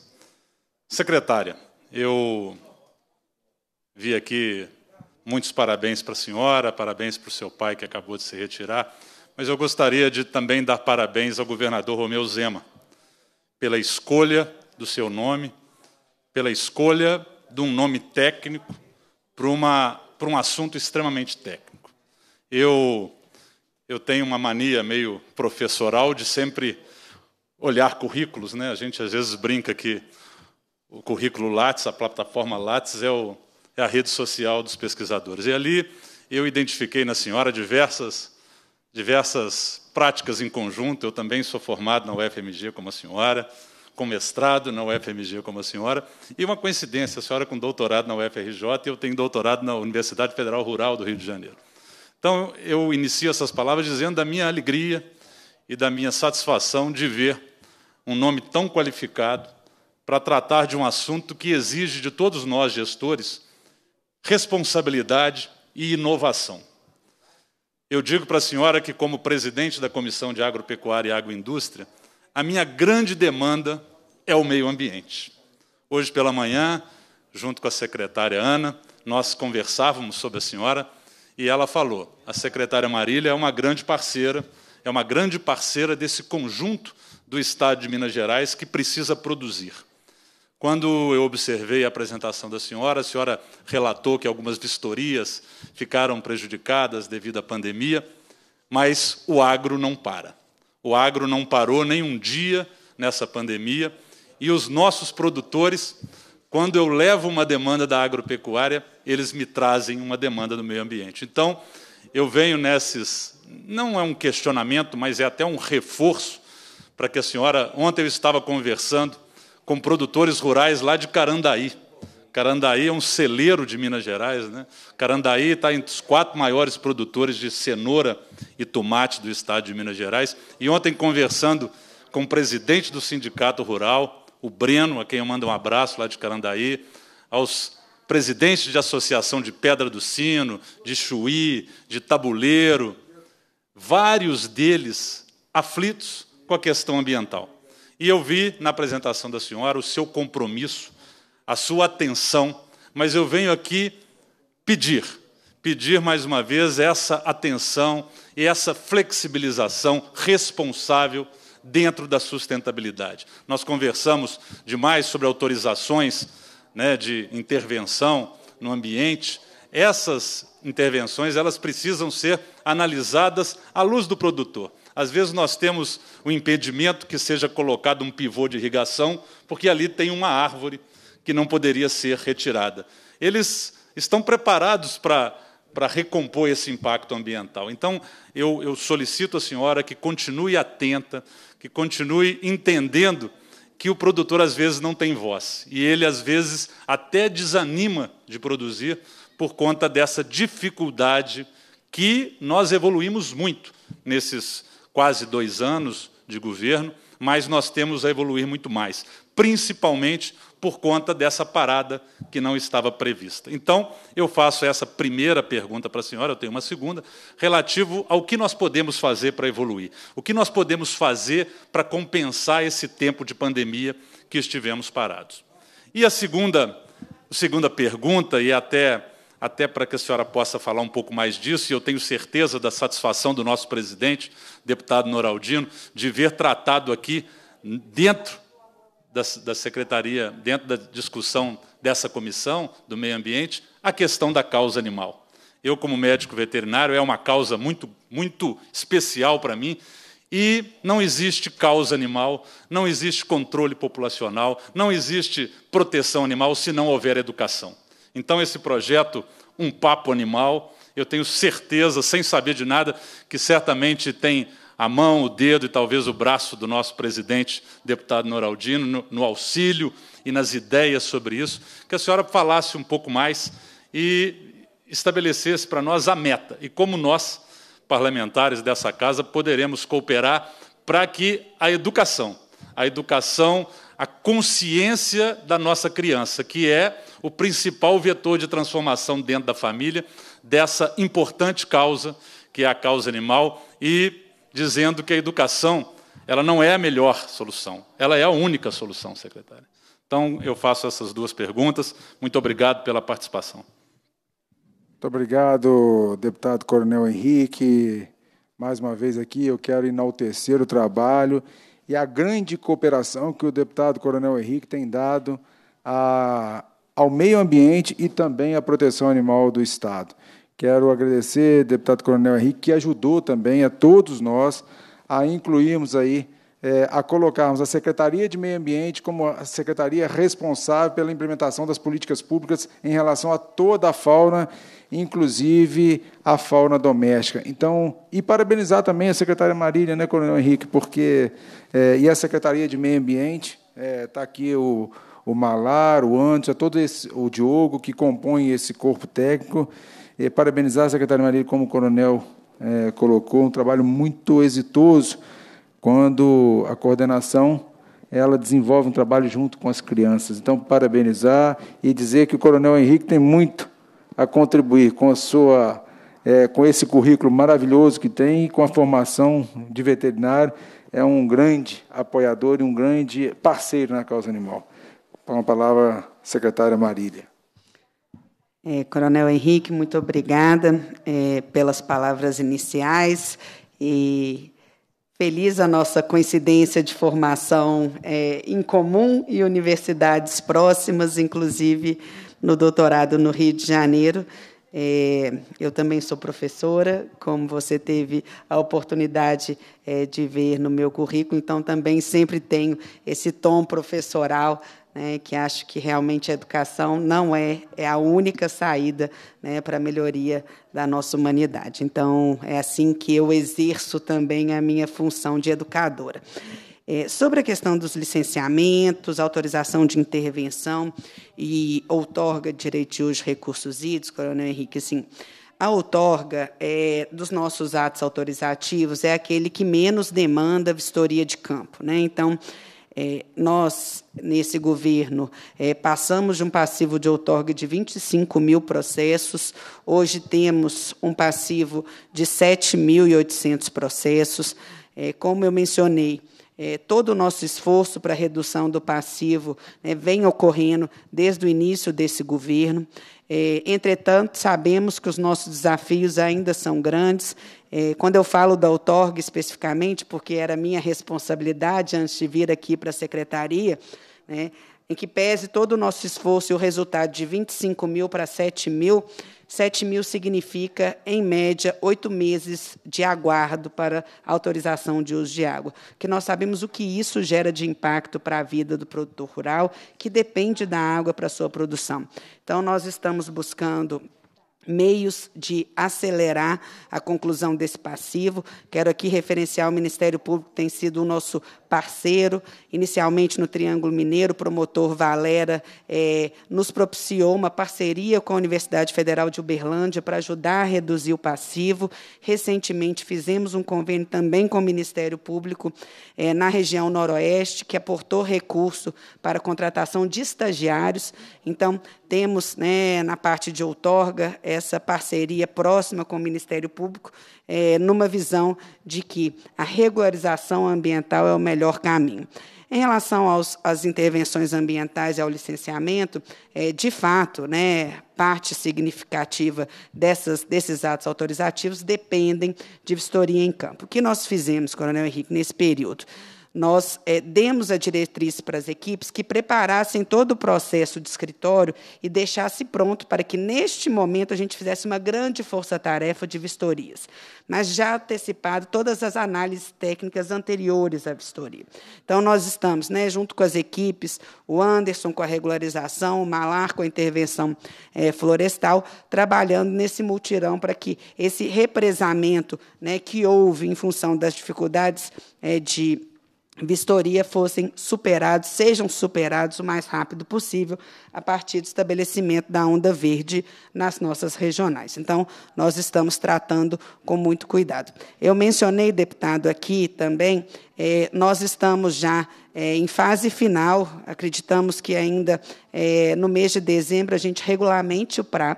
Então, esse será um grande ganho para o nosso Estado e é uma demanda muito forte da área rural. A partir dos cadastros ambientais rurais, a gente ir para o processo de regularização, com o programa de regularização ambiental. Então, esse é um ponto também é, de avanço para o próximo mês, que a gente pretende, né, em 2021, ter é, um grande trabalho de regularização dessas propriedades rurais através do PRA.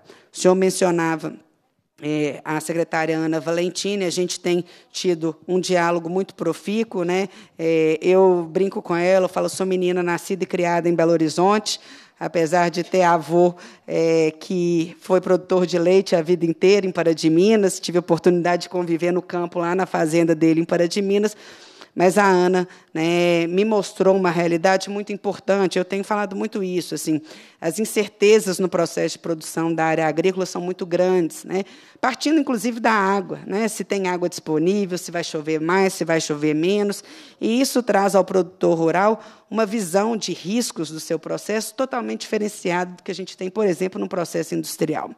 Então, nós temos que, de fato, auxiliar esses produtores a estarem regulares, porque eles são os maiores interessados, como o senhor disse, na preservação, porque a sustentabilidade da produção significa a preservação da água, significa né, a integração com é, a qualidade ambiental dentro da propriedade. Então, isso, de fato, que nós acreditamos. Então, essa é a primeira pergunta. Em relação à causa animal, né, nós sabemos que esse é um tema também muito caro para o nosso presidente, deputado Noraldino.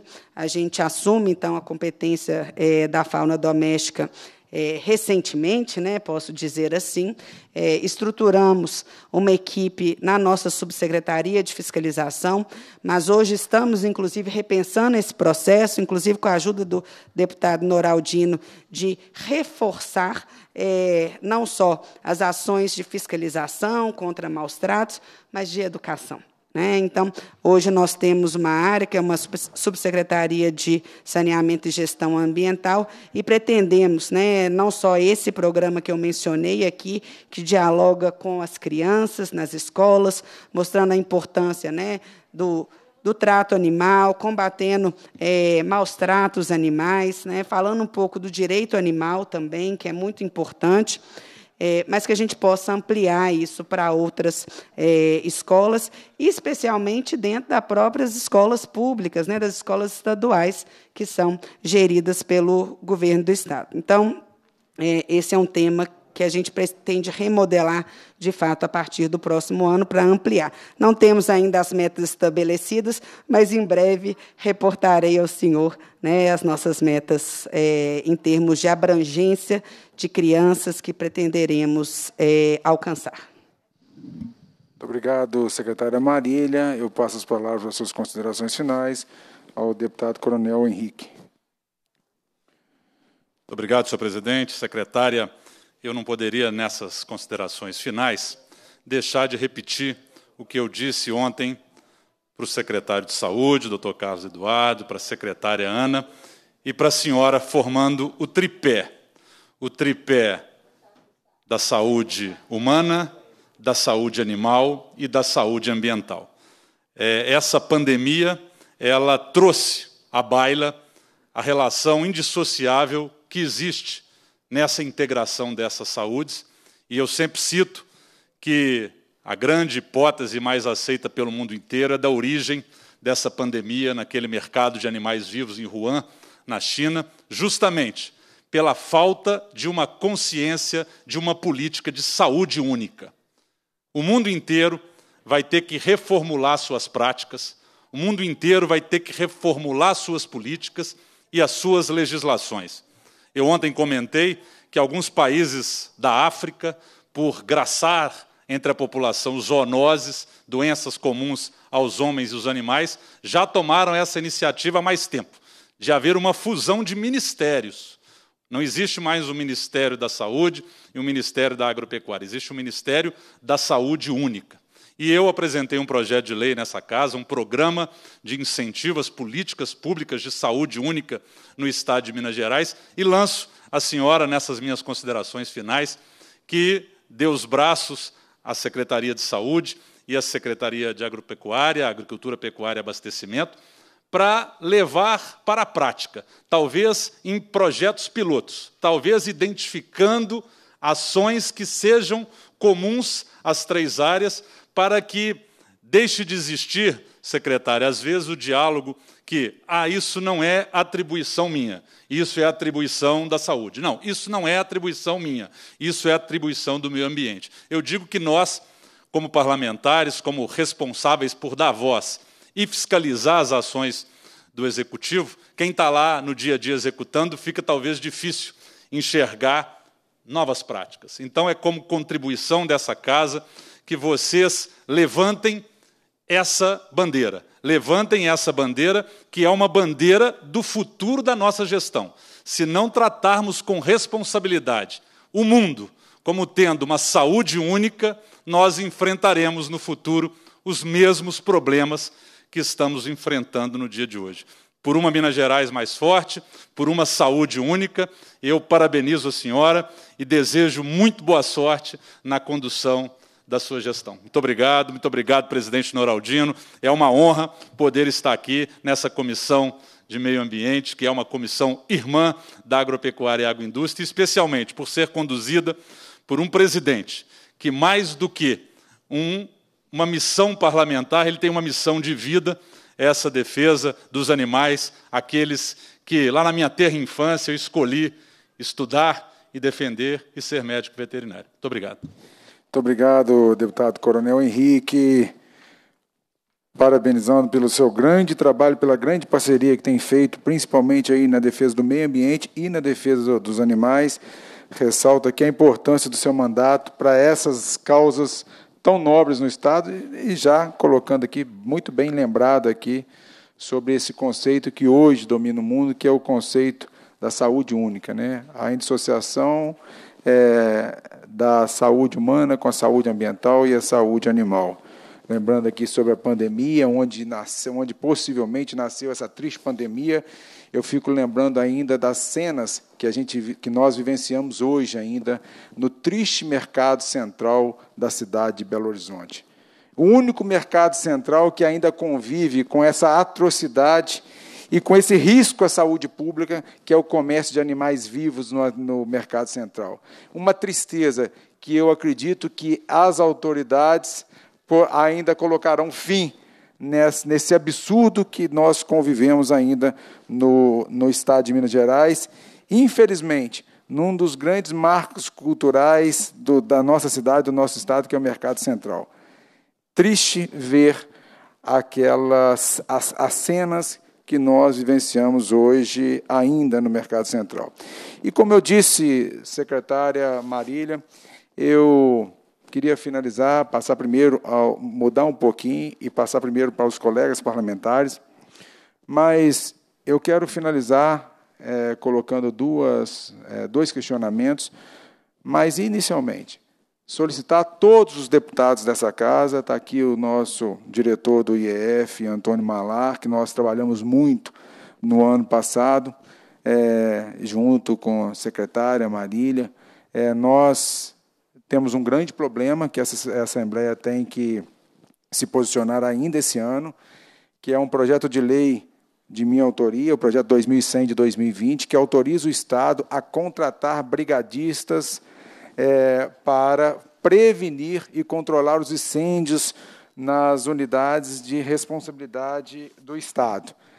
Volto a chamar a atenção dos colegas parlamentares, é, chamar é, a atenção para esse fato. Já conversei com o deputado Dalmo Ribeiro e com os presidentes das outras comissões, da, da Comissão de Administração Financeira, é, para a necessidade de nós aprovarmos esse projeto ainda esse ano, para que o Estado possa contratar os brigadistas para a prevenção e o combate aos incêndios nas unidades de responsabilidade do Estado.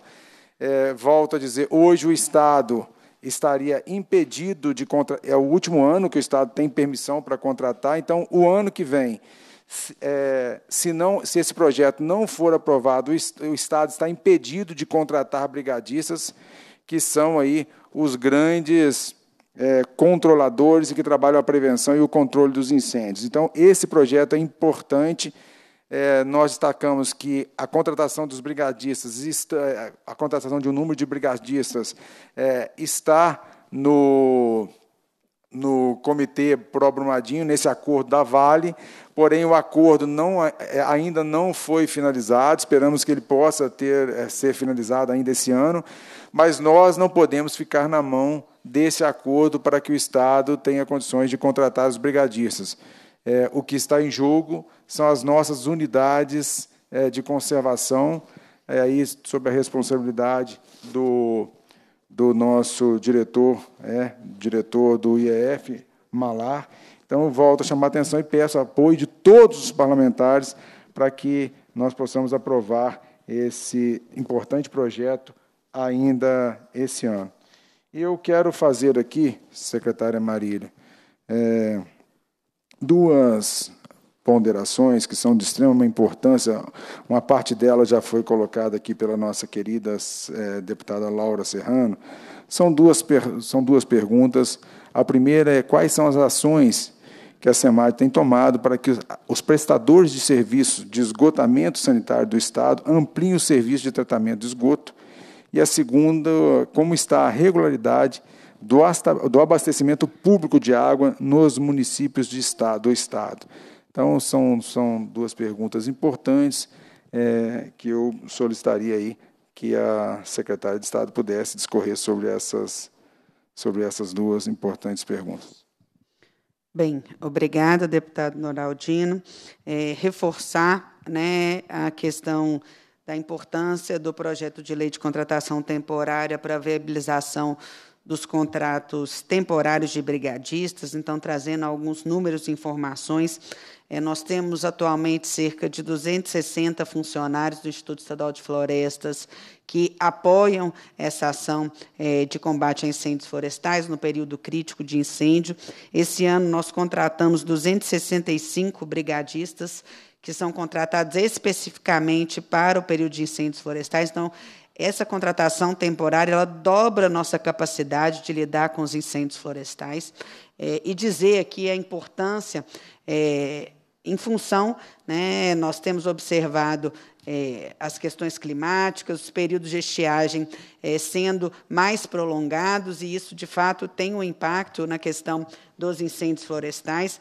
Esse ano, nós tivemos 32 mil hectares de área queimada dentro das unidades de conservação, para uma média histórica de 29 mil. Nós vimos né, na mídia, em todos os momentos, em que pese todos os nossos esforços, não só nossos, do IEF, mas também né, dizer do Corpo de Bombeiro, da Polícia Militar, da Polícia Civil, que tem nos apoiado também no processo investigativo pós-incêndio florestal, mas essa capacidade ampliada com os brigadistas temporários é fundamental para a gente reduzir né, os nossos é, índices e indicadores de área queimada dentro das nossas unidades de conservação. Então, reforçar aqui a importância desse ponto que o senhor levantou. Bem, em relação ao saneamento, vou é, mencionar primeiro né, sobre a questão do esgotamento sanitário. A deputada Laura Serrano mencionou que hoje né, o Estado tem cerca de 40% do esgoto é, tratado. É, qual que é a grande questão que hoje está em pauta, que em breve nós traremos aqui para a Assembleia uma proposta e vamos precisar do apoio desses deputados, de todos os deputados nesse processo. O marco nos dá um ano para apresentar uma modelagem regional do nosso Estado para prestação de serviço de saneamento. Né? E essa modelagem regional tem exatamente o objetivo de agregar municípios que são mais atrativos do ponto de vista econômico, com outros municípios que não são tão atrativos do ponto de vista econômico, mas que o nosso foco principal é a universalização. Mas, para a atração de investimentos privados, né, esse é um ponto muito importante para que a gente mude a realidade histórica do saneamento no nosso Estado. É, a gente possa viabilizar. Então, hoje, o governo do Estado, e não só a SEMAD, mas também né, a Secretaria de Desenvolvimento Econômico, a Secretaria de Infraestrutura, é, tem trabalhado, primeiro, nas premissas que serão estabelecidas para essa modelagem, para a definição dos blocos regionais previstos no marco regulatório de saneamento, para, a partir daí, termos né, a condição de iniciar um processo é, de chamada do capital privado, né, através é, dessa grande integração com os municípios, que são, inclusive, os detentores é, do, da titularidade do serviço. Bem, hoje nós temos né, a nossa companhia estadual é, de saneamento, a Copasa. A Copasa tem é, cerca de 700 municípios com concessão de água e esgotamento sanitário, cerca de 300 municípios. Então, esse é um outro ponto que o Marco traz. A partir de agora,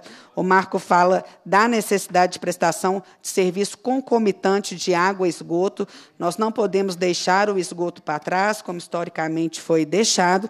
E um ponto muito importante, destaque, é, deputado Noraldi, nesse momento de pandemia, né, uma das primeiras medidas do governo do Estado foi é, determinar né, não cortar água é, daquelas pessoas que não tivessem capacidade de pagar é, a sua tarifa nesse momento, em função de todo o impacto econômico que a pandemia é, gerou. Né? Então, é, isso foi determinado à Copasa, a Arsai, que é a nossa agência reguladora é, de água e esgoto, teve um papel fundamental nesse processo.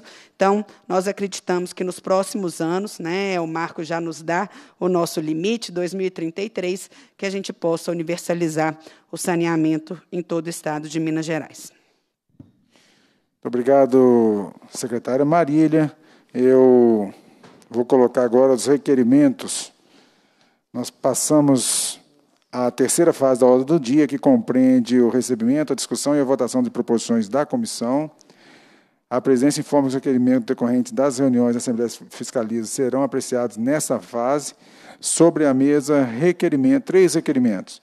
Um requerimento do deputado Coronel Henrique, o deputado que subscreve requer, de acordo com o regimento interno, seja encaminhado à Secretaria de Estado de Meio Ambiente e Desenvolvimento Sustentável pedido de providências, pedido de informações sobre o planejamento do Sistema Estadual de Meio Ambiente e Recursos Hídricos, com vista à redução do passivo de processos de fiscalização e regularização ambiental suspensos durante a pandemia.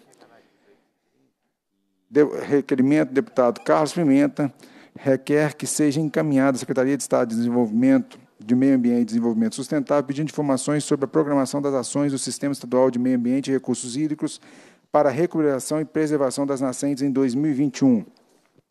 E o último requerimento, deputado Gil Pereira, requer que seja encaminhada à SEMAD pedido de providências para garantir a celeridade das análises do processo de licenciamento de empreendimentos geradores de energias renováveis, em especial a solar fotovoltaica.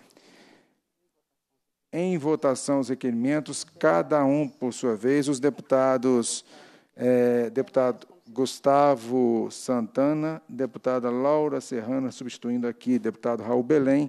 Eu indago os deputados como votam. É, deputado Carlos é, Gustavo Santana. Senhor presidente, deputado Gustavo Santana vota sim. Deputada Laura Serrana. Voto sim, senhor uhum. presidente. Voto sim. Aprovados requerimentos apresentados nessa comissão. Eu indago os parlamentares se tem alguma matéria a ser apresentada nessa fase. Indago a secretária se tem alguma consideração final. Passo as palavras aqui à nossa querida secretária Marília para suas considerações finais. Bem, eu queria, é, de fato, agradecer, deputado Noraldino, presidente da nossa Comissão de Meio Ambiente, todos os deputados que estiveram aqui hoje, pelas relevantes contribuições que trouxeram né, às nossas atividades, Sistema Estadual de Meio Ambiente e Recursos Hídricos. Dizer também que todo esse esforço, todos os resultados é, que nós é, já entregamos nesse governo e também é, iremos entregar nos próximos anos. É um trabalho de equipe, então queria referenciar aqui o meu colega Antônio Malar, diretor-geral do IEF, o Anderson, nosso subsecretário de Regularização Ambiental, Diogo, nosso subsecretário é, da área administrativa, os que não estão presentes aqui também, o Rodrigo Franco, nosso subsecretário de Saneamento e Gestão Ambiental, referencial César, nosso subsecretário de Fiscalização, referencial Marcelo Fonseca, diretor-geral do Instituto Mineiro de Gestão das Águas, que me sucedeu, e referenciar o Renato Brandão, o nosso presidente da Fundação Estadual do Meio Ambiente. Agradecer a todos pela parceria até esse momento e a parceria que continuaremos juntos no próximo momento. Cumprimentar todos os deputados e agradecer mais uma vez, deputado Noraldino, essa oportunidade. Muito obrigado, secretária Marília, ao nosso subsecretário Diogo, é, para, ao secretário, ao diretor do IEF Malar, ao subsecretário Anderson, parabenizar pelo trabalho em equipe que tem feito. É, pode, pode falar. Eu esqueci da secretária executiva, Ana Carolina Miranda. Se eu esquecer dela, Ana Carolina é uma fiel escudeira que me acompanha desde 2007. Talvez os mais próximos a gente esqueça, né, deputada? Porque estamos tão próximos, mas é, de forma alguma poderia deixar de citá-la aqui também. Muito obrigada.